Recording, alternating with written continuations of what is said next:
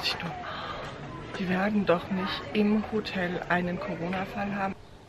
Einen wunderschönen guten Morgen wünschen wir euch aus unserem Urlaub. Wir sind in Österreich, in Gossau im Dachsteinkönig und ich dachte, ich nehme euch heute einfach mal ein bisschen mit durch den Tag. Ihr habt uns ja schon beim Kofferpacken zugeguckt das letzte Mal. Und jetzt sind wir hier und haben eine wirklich, wirklich tolle Zeit. Es ist etwa 9 Uhr, wir sind schon mega spät dran. Wir wollen nämlich jetzt frühstücken gehen. Evi, wir müssen noch Schuhe anziehen. Und dann geht es nämlich runter. So, ich habe gerade hier meine Badelatschen nur angehabt. Oh, ja, nicht da einfach hinlegen, unser Zimmerschlüssel. Nicht, dass wir den vergessen und dann kommen wir nicht mehr in unser Zimmer rein. Das wäre... Ja, dann müssten wir zur Rezeption. Geht ja immer. Hatten wir ja auch schon ne, in unserem Leben, aber es muss nicht sein. Wir haben übrigens super geschlafen. Oh ja. Wie schläft wie ein kleines Steinchen hier. Und ich habe auch echt Das gut Bett geschlafen. Das Bett ist super bequem. Die Avi ist jetzt schon mal zum Frühstück. Ich muss noch mal zurück zum Zimmer, denn in der jetzigen Krisenzeit muss man immer draußen, Erster Stock. genau, Hier ist- muss man draußen immer so ein ähm, Schild hinhängen, dass man das Zimmer gemacht haben möchte. Und das haben wir vergessen. Und gestern hatten wir es auch nicht hingehängt, da musste es aber auch nicht gemacht werden. Da wurde das Zimmer dann auch tatsächlich nicht gemacht. Und heute wäre es einfach mal nötig. Hört ihr die Schlipp, Schlapp, Schlappen, die ich anhabe? Hier ist es. Da kann man dann entweder sagen, wir sollen nicht reingehen, was ja Quatsch ist. Weil das machen sie ja eh ohne Schnitt nicht. Grüne Seite bitte einmal reinigen. Hier ist übrigens die Lobby. Hier gibt es immer was zu essen und zu trinken den ganzen Tag über. Und dann ist hier so ein super schöner Bereich und ein wunderschöner Baum. Ich habe es euch mal ein bisschen heller gemacht, so seht ihr es besser. Ist nicht schön.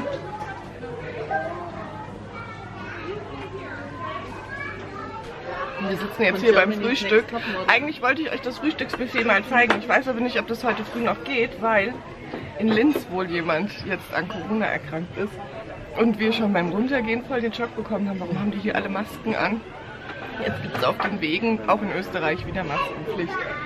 Ich schau mal, was ich machen kann. Ansonsten sind wir hier gerade gemütlich am Sitzen. Easy ist auch dabei und die Sandra auch. Morgen. Und dann müssen wir mal gucken, ob wir nachher wirklich ins Einkaufszentrum fahren wollen oder nicht, weil da muss man ja jetzt bestimmt auch Maske aufziehen. Kinder bestimmt nicht. Das frage ich, das Genau. frage ich jetzt auf jeden Fall, das mache ich jetzt gleich, Ja. frage ich, weil ähm, den ganzen Tag am Pool ist vielleicht auch ein bisschen Ist zu viel, aber das, Viel das wir uns überlegen, was wir machen. Ne? Ja. Hier ist jetzt das Frühstücksbuffet. Das ist eine Riesenauswahl. Echt toll. Und da vorne ums Eck geht es auch noch mal weiter. Ich sitze jetzt hier ganz alleine mit der Maske. Sandra musste noch mal ins Zimmer. Die Mädchen sind raus und die wollen spielen gehen. Ist ja auch okay. Und als ich heute früh aus dem Zimmer bin und überall trugen die Gäste Maske, die, die mir entgegenkamen, dann hier in den Restaurantbereich zum Frühstück, dachte ich nur, die werden doch nicht im Hotel einen Corona-Fall haben. Also mir ist echt komisch geworden. Und ich muss auch schon sagen, als wir hier ankamen, und es trug hier keiner Maske vor zwei Tagen, dachte ich schon, oh, ob das die beste Entscheidung war.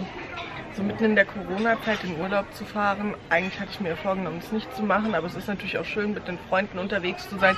Ihr seid bestimmt ähnlich zwiegespalten, was das Thema angeht. Aber irgendwie dachte ich, die würden hier auch wie in Deutschland in den öffentlichen Bereichen Maske tragen, sodass sich jeder gegenseitig schützen. Als es dann nicht war, dachte ich schon, hm.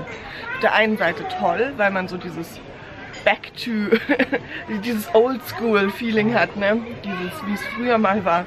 Aber man fühlt sich echt irgendwie so schutzlos. Und dann gewöhnt man sich fast dran, aber ich habe schon die letzten paar Tage ganz ehrlich da so ein bisschen äh, mit zu kämpfen gehabt. Und als ich dann aber heute früh aus der Tür kam, ich dachte, die haben hier im Hotel einen Corona-Fall. Aber es ist 200 Kilometer weit weg. Und der ganze Landkreis wird jetzt halt hier wieder mit Maskenpflicht ausgestattet. Was ich auch ganz gut finde, und das ist hier auch im Hotel gar nicht verkehrt, wo so viele Leute aufeinander hängen. Und dann fühle ich mich allgemein auch hier im Hotel wieder wohler. So, jetzt habe ich euch da genug voll gelabert. Eure Gedanken dazu würden mich allerdings sehr interessieren. Wenn unter dem Video keine Kommis an sind, dann schreibt mir doch bitte auf Instagram, wie ihr das seht. Da heiße ich alles unterstrich Jade. Also würde mich echt interessieren, wärt ihr jetzt in den Urlaub gefahren und wie hättet ihr euch gefühlt, wenn ihr im Hotel ankommt da ist keine Maskenpflicht? Ja, dieses Hotel hier ist echt wunderschön. Und die machen ja auch nur das, was der Staat vorgibt. Ne? Also ein Hotel macht ja nicht seine eigenen Regeln. Und ich als Hotelbesitzer würde auch keine Maskenpflicht ähm, verlangen, wenn der Staat es nicht vorgibt. Das ist ja nicht dem Geschäftsmodell zutragend. Naja, wie auch immer. Das waren jetzt meine 5 Cent. Wir sind kurz nochmal auf dem Zimmer und düsen jetzt gleich los, erkunden noch ein bisschen die Gegend, denn hier ist es echt total schön. Und ich dachte, ich gebe euch einfach mal eine kurze Roomtour. Ich schaue sowas immer total gerne und ich weiß, ihr auch. Und würde sagen, ich fange einfach mal an. Das ist jetzt hier übrigens das Standard-Familienzimmer. Das ist ähm, kein Upgrade, das ist so ein tolles Zimmer. Wirklich Wahnsinn. Ich zeige es euch jetzt einfach mal. Ich stehe jetzt hier mit dem Rücken zur Tür. Als erstes sieht man dann hier diesen tollen begehbaren Kleiderschrank. Hello, seht ihr, da könnt ihr auch gleich mein Outfit sehen. Und wenn es dann hier weitergeht, seht ihr das Hauptzimmer. Und zwar dann jedes Zimmer eine kleine Sitzecke und dann das Bett. Und ich finde gerade die Holzdetails hier so schön. Da geht es dann ins Bad rein, zeige ich euch auch gleich. Ich stehe jetzt mit dem Rücken zu der Sitzecke, dann seht ihr, ist hier ein Fernseher, eine Minibar. Da ist übrigens der Abfalleimer drin versteckt. Und dann gibt es hier noch einen kleinen Schreibtisch. Das findet Ava so toll, diese Höhle. Da ist übrigens ihre Krabbe drin. Ihr Faultier heißt Krabbe. Und Krabbe ist umgekippt. Ava liebt das. das. Ist so schön für Kinder. Und dann ist hier nochmal ein Kinderzimmer separat. Und wenn wir jetzt hier vom Schlafzimmer zur Tür laufen und abbiegen, kommen wir ins Badezimmer. Es hat hier auch so eine tolle Holzwand. Badewanne, Doppelwaschtisch, einen für Kinder, finde ich auch toll. Und dann kann man hier durch ins Schlafzimmer schauen. Und eine wundertolle große Dusche. So ebenerdig. Also wirklich ein ganz tolles Hotelzimmer. Wir fühlen uns super wohl. Ich sammle jetzt Ava ein und es geht weiter. Wir sind jetzt in Bad Ischl angekommen und haben geparkt und erkunden das Ganze jetzt ein bisschen. Mädels, kommt ihr? Die machen da hinten TikToks, ohne es aufzunehmen. Ohne. TikToks ohne Musik, ne? Kann man doch auch machen. Na klar, kann man alles machen. Ich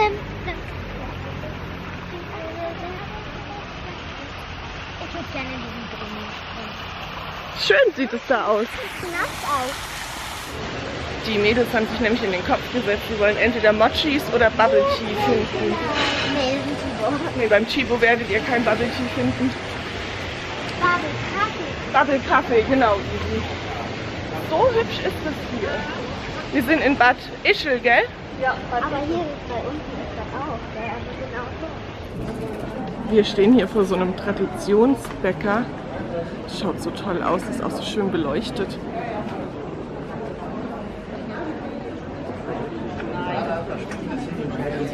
Mal da drinnen. Das schaut ja mal toll aus, oder? Wow. Sieht es nicht toll aus da drin? Ich weiß nicht, ob die Bubble Tea haben, ganz bestimmt sogar nicht, aber die haben bestimmt ganz tolle Kuchen und so. Wollt ihr mal reingehen, gucken? Schaut euch mal die Torten an. Und auch hier vorne Pralinen. Die Mädels sind gerade neben uns da in den DM reinspaziert. Wir warten jetzt draußen und haben da ein richtig cooles Schaufenster entdeckt. Zeige ich euch gerade mal. Und zwar schaut, die haben ganz viele Boho-Sachen. Wunderschön. Kennt ihr die Marke? Riviera Maison habe ich noch nie gehört. Ist super schön. Und hier seht ihr das, das Bad Ischl ist echt hübsch. Und jetzt müssen wir warten, bis die Mädels da wieder rauskommen. Schaut mal, wie schön die Aussicht hier runter ist, in die Berge rein. Wahnsinn. Wir haben uns jetzt hier in so ein goldiges Café gesetzt, so ein Straßencafé. Und die Mädchen haben Hunger und die Eva hat auch ein ganz hungriges Gesicht. Sollen wir mal gucken, was wir finden. Wir haben uns hier so eine ganz saure Limo bestellt. Das erinnert mich total an die USA. Schmeckt so lecker. Und die Mädchen haben probiert und sagten nur, oh, dann zieht uns ja die Zunge zusammen. Baby Chunks.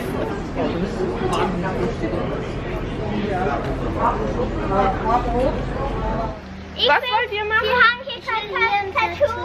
Und ich, ich will hier ein Puschine. Ich will eine Puschine von direkt da. IFS-Tattoos, oder Ja, ja. Okay. Aber Sandra, sind es Ich gestochen? bin total überfordert jetzt Sind gerade. die Also ich, gestochen oder darf man die selber? die sind dann echt, die bleiben für immer. Dann auf jeden Fall. Während die Ava immer noch mit mir streitet, ob sie jetzt ein Tattoo kriegt oder nicht. Ei. Die tätowieren doch eh erst ab 18, das würde ich eh nicht erlauben. Ich war doch und fast zehn. Ja, ja, ja. Aber jetzt haben wir hier diesen tollen Laden entdeckt. Da habe ich euch ja gerade das Schaufenster gezeigt. Und bummeln jetzt hier durch. Es war also wirklich, die haben so tolle Sachen da drin. Wir haben uns jetzt einfach mal einen, ja, so einen kleinen Katalog mitgenommen und blättern zu Hause nochmal. Und schaut mal, eine Kutsche. So schön. Wir sind nun wieder zurück und sitzen hier in der Lobby. Lassen es uns gut gehen. Ach, schaut mal, ich habe mir bei Kick noch diesen Koffer gekauft weil der eine Koffer, den ich mitgenommen hatte, der, ähm, da ging der Reißverschluss jetzt kaputt. Ja, und dann, die anderen sind gerade im Bad, waschen Hände, wenn die zurückkommen, gehe ich Hände waschen. Und wir essen jetzt eine Kleinigkeit und dann werden wir schwimmen gehen. Ich hoffe, ihr könnt mich verstehen. Wir sitzen jetzt hier ganz gemütlich und gucken direkt auf das Dachsteingebirge. Das ist so, so schön. Schaut mal, hier ist noch so ein kleiner See angelegt. Und hier ist es dann Wunder, wunderschön. Und wenn da die Sonne drüber untergeht, das muss ich euch nachher zeigen. Herrlich. Da ist dann noch eine Seilbahn, Spielplatz. Da seht ihr die Rutsche vom Schwimmbad. Da oben dahinter steht auch eine riesen Hüpfburg übrigens. Wir sind wieder zurück im Zimmer. Ich habe meine Maske und für uns geht es jetzt los zum Essen. Die anderen warten schon unten auf uns. Würdest du mal kurz halten, bitte? Ja. Ich zeige euch mal ganz schnell mein Outfit, bevor wir dann losdüsen. So, das ist es jetzt. Meine Lieblingsjeans und dann hier dieses Oberteil, das liebe ich ja total. Das habe ich schon jahrelang, das habe ich irgendwann mal, ich glaube vor drei Jahren in den USA mitgenommen. Und das kommt immer mit, wenn es ein bisschen schicker werden soll. Ich habe auch richtig Hunger.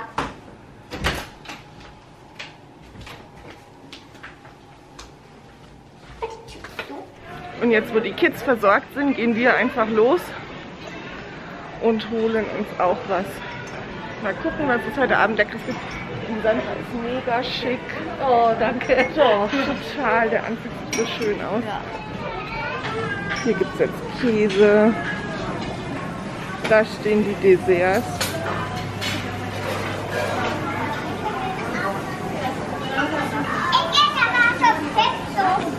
Machst du Hände Machst du Hände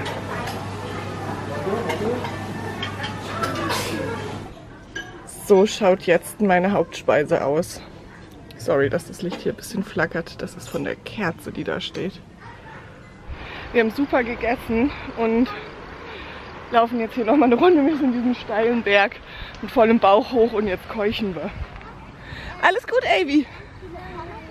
Wir genießen hier jetzt die goldene Stunde. Die Ava fährt auf den Rädchen, auf denen sie mit den Knien immer gegen die Stange donnert. Und die Easy hüpft. Und die Sandra vloggt auch. Schaut auf jeden Fall auch bei ihr vorbei. Wisst ihr eigentlich, dass die Sandra auch einen Vlogkanal hat? Sandra bei Kleine Familienwelt. Genau, ganz einfach Sandra bei Kleine Familienwelt. Würde mich total freuen, wenn ihr auch vorbeischaut. Dann könnt ihr nämlich den Teil sehen, den ich vergessen habe aufzunehmen.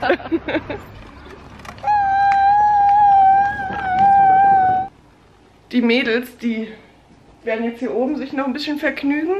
Und die Sandra und ich setzen uns noch einen Moment in die Lobby. Ich würde aber sagen, an der Stelle verabschiede ich mich erstmal von euch. Ich glaube, morgen vlogge ich nochmal für euch mit.